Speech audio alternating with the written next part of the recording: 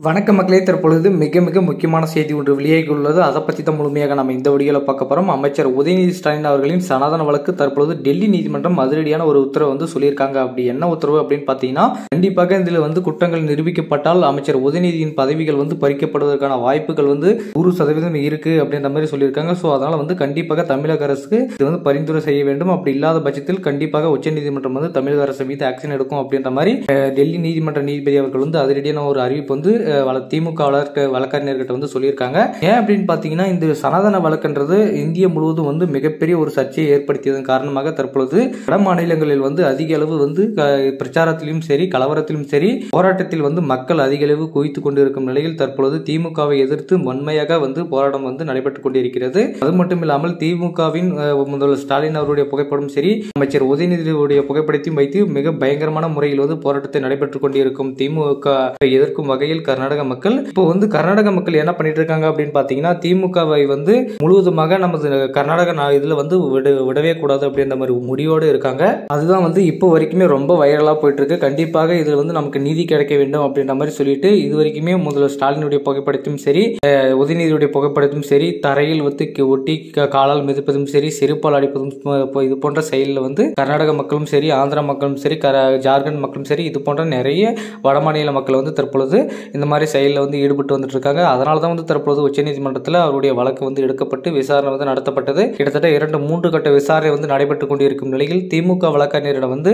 அவருடைய வாதத்தை முன்வைக்கப்பட்டிருந்த நிலையில் வந்து இப்படி பண்ணியிருக்காங்க. பாஜக வந்து எங்களுக்கு வந்து எங்களை வந்து இது பண்ணும் விதமாக வந்து குற்றம் சுமத்தப்பட்டிருக்காங்க அப்படின்ற மாதிரி சொல்லி வழக்கறிஞர் வந்து இது பண்ணியிருக்கும் நிலையில் தற்பொழுது நீதிபதி அவர்கள் அதிரடியாக சொல்லியிருக்காங்க. சரி ஓகே. உங்கள் தரப்புல இருந்து நீங்கள் சரியான முறையில் எவிடன்ஸ் வந்து சப்மிட் பண்ணுங்கள் இல்லை நீங்கள் நீங்கள் அப்படி பேசலை அப்படின்றது அப்படின்றதுக்கான எவிடன்ஸ் ஏதாச்சும் இருந்தாலும் நீங்க நீதிமன்றத்தில் தாக்கல் பண்ணுங்க அப்படின்ற மாதிரி சொல்லியிருக்காங்க. அது மட்டும் இல்லாமல் இன்னொரு தரப்புல இருந்து அதை எதிர்க்கட்சி வக்கீல் அவங்க தரப்புல இருந்து அவங்க வாத வாதத்தையுமே முன் வச்சிருக்கும் நிலையில் உதயநிதி ஸ்டாலின் மீது வழக்கப்பட்ட நீதிபதி அவர்கள் வந்து கண்டிப்பாக அந்த வழக்கறிஞர் வந்து கடுமையான முறையில் வந்து எல்லா எவிடன்ஸும் பர்ஃபெக்டா முறையில் வந்து உச்சநீதிமன்றத்தில் தாக்கல் பண்ணியிருக்கும் நிலையில் இப்போ வந்து செந்தில் பாலாஜியின் வழக்கு போலவே உச்சநீதிமன்றத்தில் வந்து ஸ்டாலினுடைய வழக்கு வந்து ரொம்பவே சுவாரஸ்யமாக போயிட்டு இருக்கு. அனல் பறக்கும் வாதங்கள் நீதிபதியின் அனல் பறக்கும் கேள்விகள் யாராலையுமே பதில் சொல்ல முடியாத அளவுக்கு திமுக வழக்கினர் வந்து திகைத்து போயின்றதாகவும் தகவல் வெளியாக இருக்குது இப்போ வந்து திமுக வந்து இப்போ நாடாளுமன்ற தேர்தல் வரப்போகிறது. ஸோ அதனால தான் வந்து பாஜக வந்து திமுக வந்து டார்கெட் பண்ணிட்டு இருக்காங்க அதனால தான் வந்து நான் பேசாத விஷயத்தை கூட அது வந்து பேசின மாதிரி இது பண்ணி கிரியேட் பண்ணி தற்பொழுது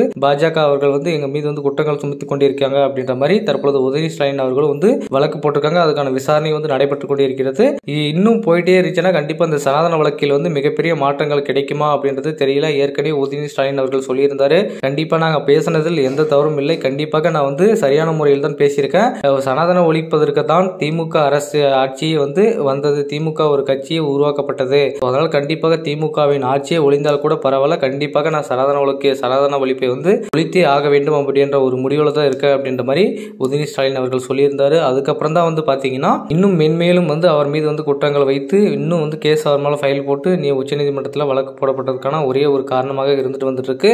இது வரைக்குமே முதல்வர் ஸ்டாலின் அவர்கள் இந்த விஷயத்தில் வந்து எந்த ஒரு இன்வால்வும் பண்ணாது தான் இருந்துட்டு இருக்காரு ஆனால் இது வரைக்குமே வந்து உதயநிதி ஸ்டாலின் அவர்களும் இது பண்ணிட்டு தான் இருக்காரு. ஆனால் இப்போ வந்து என்ன உச்சநீதிமன்றம் சொல்லியிருக்காங்கன்னா கண்டிப்பாக சேகர் பாபு ப்ளஸ் வந்து உதயநிதி ஸ்டாலின் ஆகிய இருவரும் வந்து கண்டிப்பாக நீதிமன்றத்தில் வந்து ஆஜராகணும் அப்படின்ற மாதிரி அங்க நீதிபதி அவர்கள் வந்து சொல்லியிருக்காரு. கண்டிப்பா இவங்க ஆஜராகணும். விசாரணை வந்து வேற மாதிரி இருக்க போகுது. உச்சநீதிமன்றமே அனல் பறக்க போகுது. கண்டிப்பாக ஒருவேளை வந்து இது இவங்க மீது குற்றங்கள் இது நிரூபிக்கப்பட்டால் ஒருவேளை வந்து கண்டிப்பாக அவருடைய பதவிகள் பறிப்பதற்கான வாய்ப்புகள் வந்து நிறையவே இருக்கு அப்படின்ற மாதிரி நிறைய அரசியல் வட்டாரத்தில் வந்து பேசப்பட்டு வந்துட்டு இருக்கு. மக்களே தற்பொழுது உதயநிதி ஸ்டாலின் அவர்களுடைய சனாதன வழக்கில் வந்து உச்சநீதிமன்றம் வந்து எடுக்கப்பட முடிவு பற்றிய உங்களுடைய கருத்துக்கள் என்ன? உதயநிதி ஸ்டாலினுடைய நிலைமை என்னாக போகிறது என்பதை பற்றிய உங்களுடைய கருத்துக்களை வந்து மறக்காமல் கமெண்ட் வாயிலாக கூறுங்கள்.